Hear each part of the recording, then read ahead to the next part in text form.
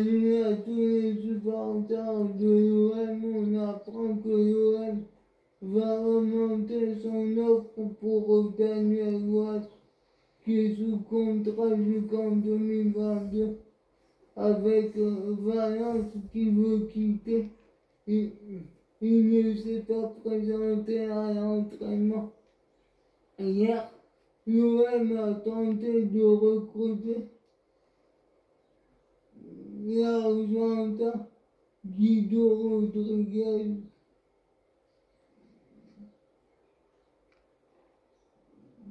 Sous contrat avec Betis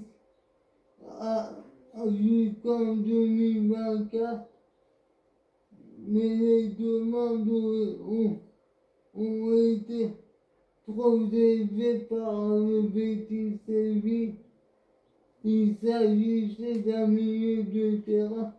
Quant à Sao Paulo, ils ont abandonné de recruter Dario Benedetto. Ils ont déclaré qu'il n'y avait pas moyen.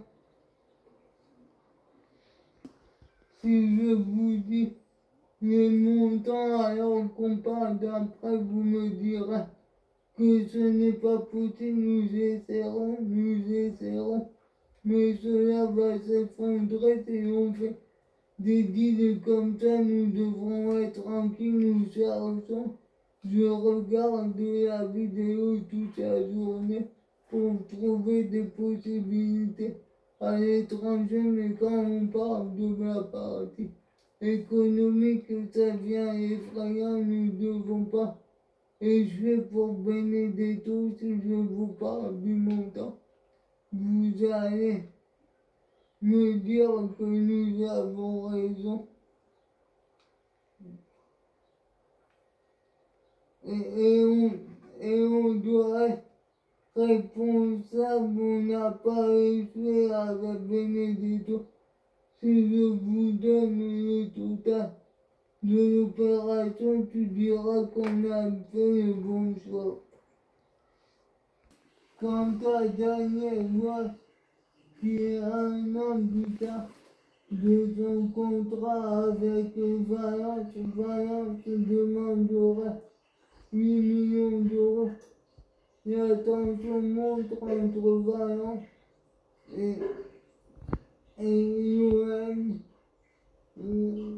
Watt voudrait quitter, voudrait mettre la, va, mais la pression pour avoir un bon de sortie abordable quant à avant la pompe qui était proche de rejoindre l'OM.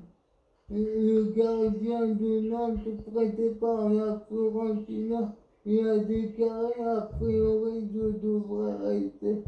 Cette année normalement je devrais pas. La saison à Nantes, Marseille, il n'y avait rien de bien concret. Quant à Basile Boli, il a une intuition pour le titre. Il a déclaré qu'il se passe quelque chose à l'OM, il y a un dynamisme palpable. On peut faire comme lui la saison passée, je sens. Qu'en pensez-vous Moi, pour moi, il est totalement faux, il ne peut pas remporter le titre, le PSG est, bien plus fort qu'eux, mais ils peuvent viser la Ligue des Champions, voire la deuxième place avec l'OM, même si pour moi Monaco est plus fort. Qu'en pensez-vous Mettez des commentaires. Enfin, on apprend que Munich a repris l'entraînement hier. You've been worked so much and you